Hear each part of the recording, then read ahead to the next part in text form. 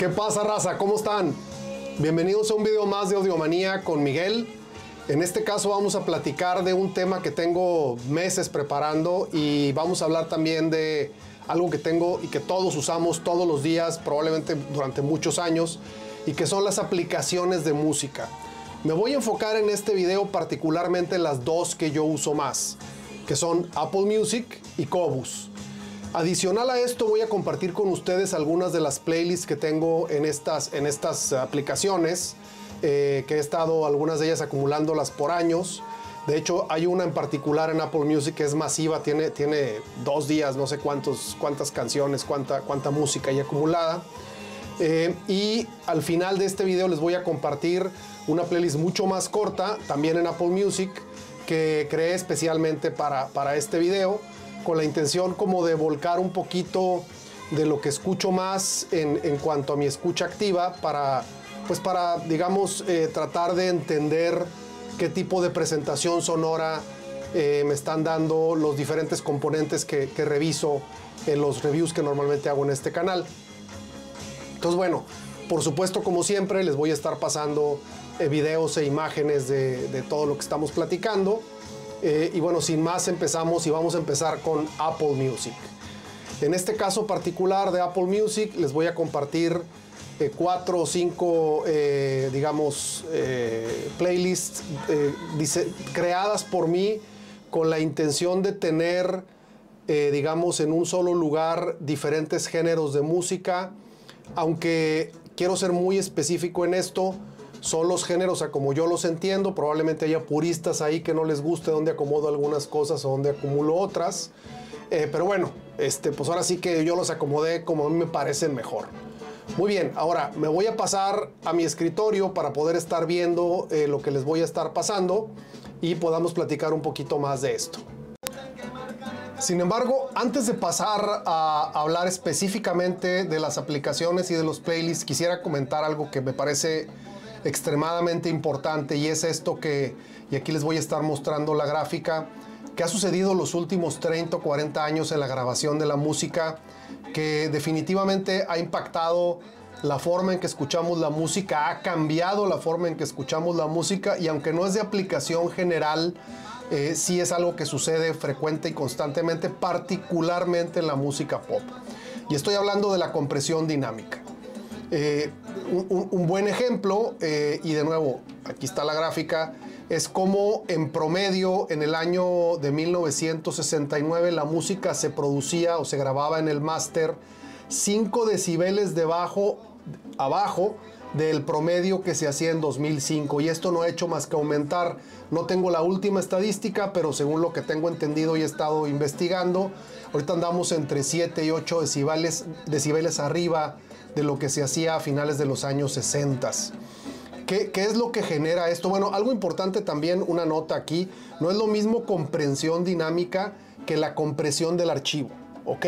Son dos cosas diferentes. La compresión del archivo se refiere a la cantidad de datos que se, que se pasan en ese formato de lo análogo a lo digital. Lo que le quita es, digamos, resolución, la compresión de archivo. De lo que estamos hablando es de la compresión dinámica. Y la compresión dinámica lo que hace es, por decirlo de una forma muy, muy, muy sencilla, sin entrar en tecnicismos, aplana la, respuesta de frecuencia de todos los instrumentos de la voz, etcétera, etcétera. Y lo que esto logra, lo que esto consigue es aumentar el, el nivel de, de sonido, aumentar el nivel de volumen ¿Qué produce el exceso de compresión dinámica o una, o una compresión dinámica mal aplicada? Bueno, produce crudeza, se escucha crudo el producto, se escucha cruda la música, eh, es, eh, le, baja el rango dinámico entre instrumentos o cortes de instrumentos, eh, baja, la, baja la, de alguna manera la, la definición entre instrumentos, aplana tu soundstage o, o genera un soundstage plano pequeño, ¿no? Este, o te genera esta pared de sonido que es, que es grande en tamaño al frente, que también me ha sucedido, pero que no tiene profundidad, que es bidimensional a la hora de, escucharla.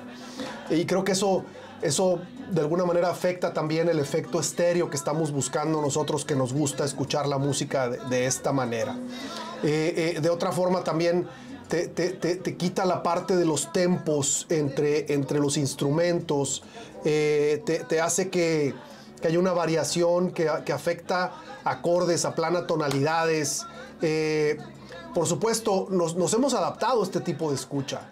No quería dejar de lado esto porque esto es algo que afecta eh, a la música el día de hoy y no importa la plataforma en la que estés, eh, siempre vas a tener este tipo de situaciones. Se da también en los CDs, por supuesto, no importa el formato tampoco, se da también en los, en los viniles, eh, o sea, realmente es un tema que, impacta cualquier formato porque esto se da a la hora de masterizar o remasterizar. Ahora sí, vámonos a hablar específicamente, y me voy a ayudar aquí de, de mi computadora, vamos a hablar específicamente para empezar de Apple Music y por qué yo, yo creo que para mí hoy por hoy es la opción A en el uso de, plataformas, de, aplicaciones de música. Bueno, hay una razón en lo personal que me sucede. Yo tengo, yo ya pago un, plan de, iCloud donde viene incluida de manera gratuita Apple Music y, otras, otras cosas. Eh, de tal manera que, bueno, yo tengo el, acceso a, pues ahora sí que a toda la, a todo el rango de, niveles de, files que maneja Apple, desde el super compreso comprimido hasta los 24 bits, 192 kilohertz que te maneja como, alta resolución la aplicación, que esto es general para todas las aplicaciones. Eh, y bueno, esta es una razón, ¿no? Es, ya lo tengo, ya, ya, ya pago por él dentro de un plan, entonces ya, ya lo tengo incluido. Eh, y la otra es algo muy, muy importante y es que eh, utilizando eh, un DAC a tu teléfono le puedes sacar estos archivos descompresos o descomprimidos y puedes escuchar en alta resolución utilizando un, buen DAC portátil. Eh, yo puedo, bueno, tengo varios DACs por ahí portátiles, pero por ejemplo, incluso hasta con tu iFi Go Link, si traes tus audífonos, puedes utilizarlos y puedes escuchar. Yo los uso estos, o tengo también el, DAC que incluye los, los Mese Alba, los, los IEMs. Eh, que, me funcionan muy bien y la verdad me gusta cómo se escucha. Eh, ahora, esto también me ha permitido, como soy un usuario de muchos años de esto, pues ir acumulando en mis playlists la diferente música que me gusta e ir ampliando la cantidad de playlists a los diferentes tipos de música que también me gustan, los diferentes, digamos, géneros de música, ¿no? Entonces yo les voy a compartir hoy por hoy eh, para empezar, un, playlist que se llama Audiomanía Hi-Fi, que este playlist yo creo que debo de tener curándolo, es decir, este, quitándole y poniéndole música constantemente, aunque, aunque le quito menos de lo que le agrego, ustedes lo van a ver por, por la gran cantidad, hay, cientos de temas ahí. Eh, tengo, tengo años usándolo y es como esta aplicación en donde tengo temas para, para donde, donde yo siento que me puedo ayudar a la escucha activa pero que también lo pongo y lo dejo ahí, ¿no? Lo, tengo, lo, he bajado en mi teléfono, entonces cuando viajo lo escucho. Eh, hay algunos temas que he escuchado cientos de veces y la verdad es que no los quiero escuchar por un tiempo, entonces esos los, los voy brincando. Pero bueno, es digamos mi, mi playlist principal, ¿no? De aquí muchas de las veces tomo temas y los paso a las, a las demás, a las siguientes eh, playlists. Luego después tengo otra que le llamo Audiomanía High Res Hi-Fi, que empezó con la intención de tener solamente música en alta resolución. Sin embargo, en todas estas eh, playlists, de pronto hay un tema que está hoy por hoy en alta resolución y mañana ya no está. Son temas del manejo de la misma app. Entonces, esta es una, esta es una playlist complementaria a la anterior que también tiene eh, muchísimos temas, ¿no? Eh, y, también la estoy, digamos, actualizando constantemente. Luego, ya hablando de, géneros musicales, la primera que les quiero compartir es una que se llama Popcito y es una app que, conjunta eh, pop, electrónica, eh, rock pop, este, es, digamos, bastante ecléctica en su... Esto es, esto es 100% en inglés, es muy, muy ecléctica, tiene cosas de, no sé, Katy Perry, o Kaylee Minogue junto con Depeche Mode o INXS, ¿no? Por ejemplo, que algunos creen que es rock, a mí se me hace que es más rock pop que nada, ¿no? Pero bueno, eh, pónganme sus comentarios qué opinan, ¿no? Este, acerca de si, si escuchan mis, mis playlists, qué opinan de cómo estoy ahí más o menos clasificando la música. Eh, y de aquí nos vamos a pasar a la que sigue, que es una que se llama Salsita. Eh, yo tengo la fortuna de haber estado en Cali, en, Colombia, la, capital mundial de la salsa. Mi mujer es caleña. Eh, es, un, es un género que me encanta desde hace muchos años, pero bueno, eh, ahora más, ¿no? Con, con, mi, con mi compañera, pues que es 100% salsera.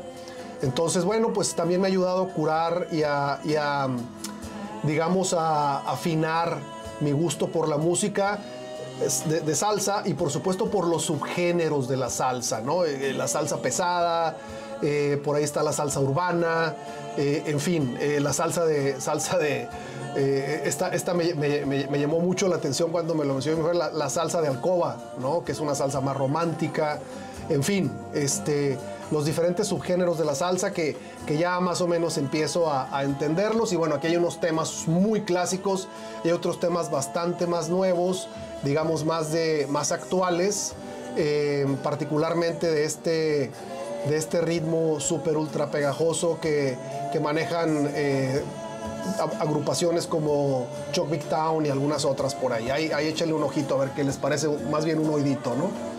Eh, y por último, bueno, por penúltimo, les voy a compartir otra que se llama Rock Ecléctico.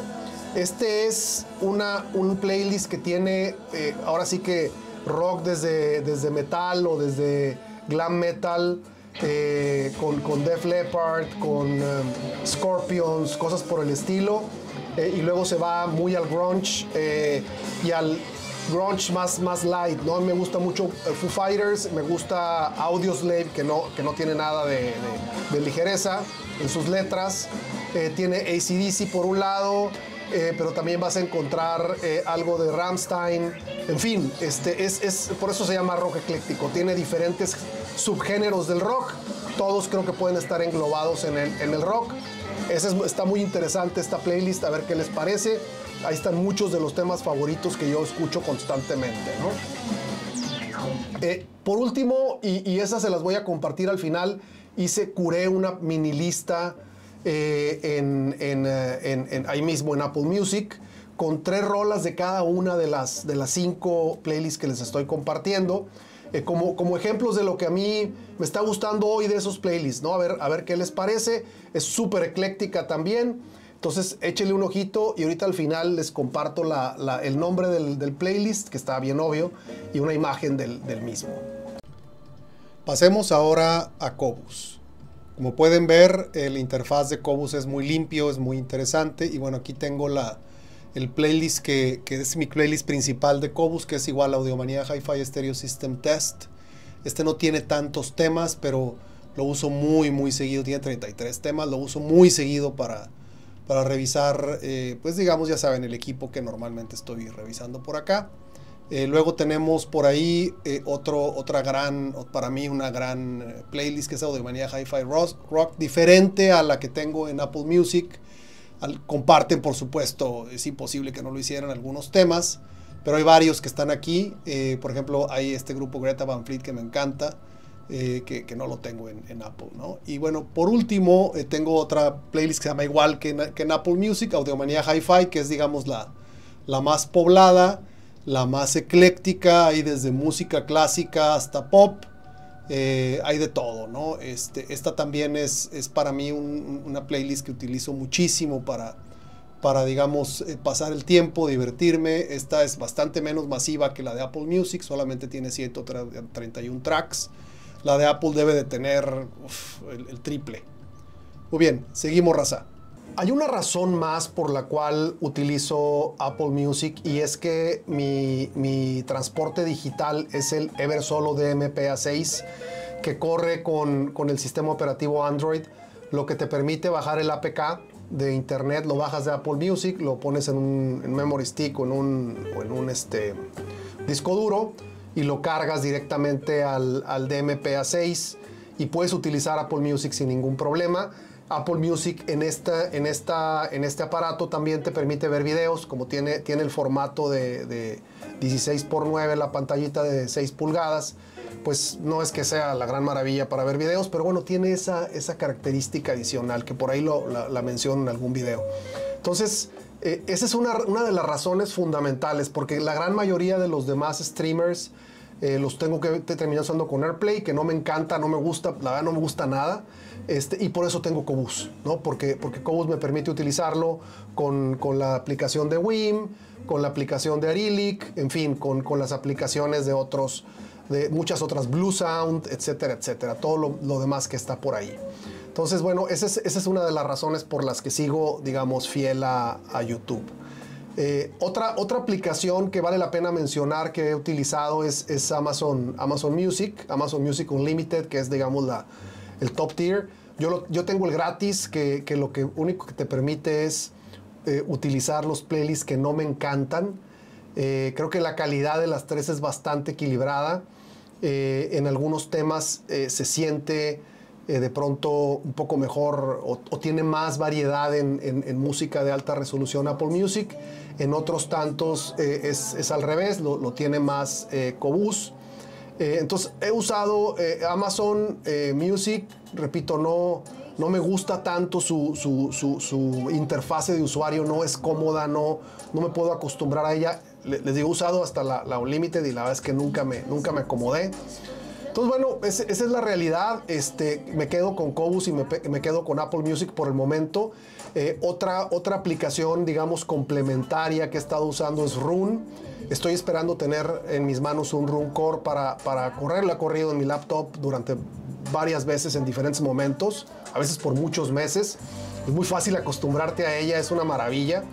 Eh, pero aún no, aún no me decido a, ya tenerla como algo de planta en, en Muse, porque además la puedes usar con prácticamente todas las aplicaciones, ¿no? Te ayuda como a unificar. El único problema es que no tiene Apple Music, entonces por eso no me he terminado de convencer de, de, de Room, ¿no? Y es un costo adicional. Todo esto que estamos hablando, que le vas agregando, va teniendo al final un costo adicional que va, va sumando, ¿no? Y, o va restando a tu bolsillo.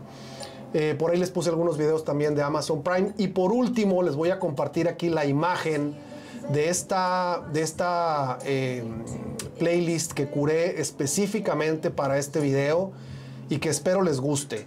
Por favor, coméntenme qué les parece, qué les parece en los playlists, cuál es la, cuál es, cuáles son las rolas o cuál es el género que más les gusta para, para escuchar. Y si tienen alguna rola que no vieron por ahí o que no han visto por ahí, que me recomienden para agregarla en mi, en mi playlist.